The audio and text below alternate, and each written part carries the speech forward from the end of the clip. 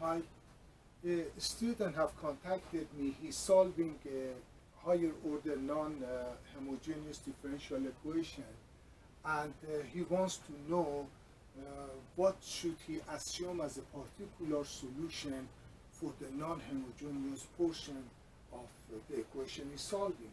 And, and this is the non-homogeneous portion. This is uh, the right side of his equation.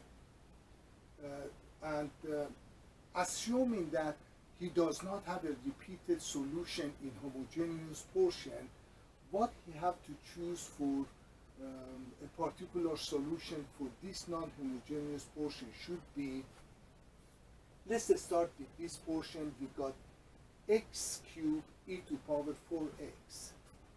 So if, if x cubed e to the power 4x is a solution, then definitely x squared e to power 4x and x e to power 4x and also e to power 4x they all must be also a solution you know for that uh, non-homogeneous differential equation.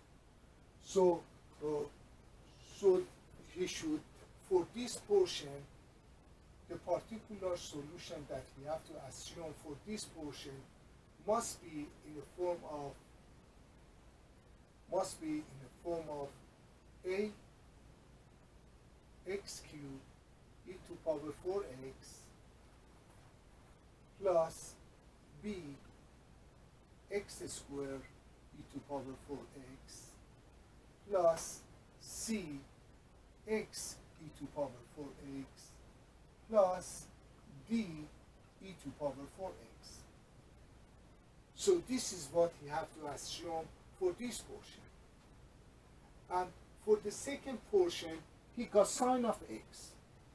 We know that if we differentiate sine of x, the formula, the derivative of sine of x is equal to cosine of x. And if we take a derivative again from cosine, the derivative of cosine of x will be equal to minus sine of x. So anytime we take a derivative, we are going to have sine of x and cosine of x. So uh, what we have to assume here for that portion will be uh, e sine of x plus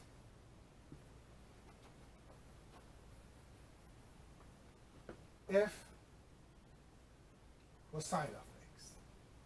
So this is the particular solution that he have to assume in order to solve that non-homogeneous differential equation that is working.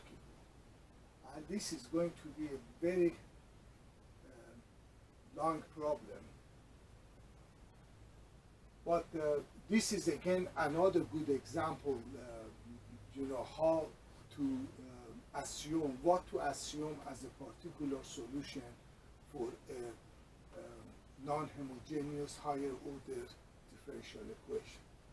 So that's what we need to assume.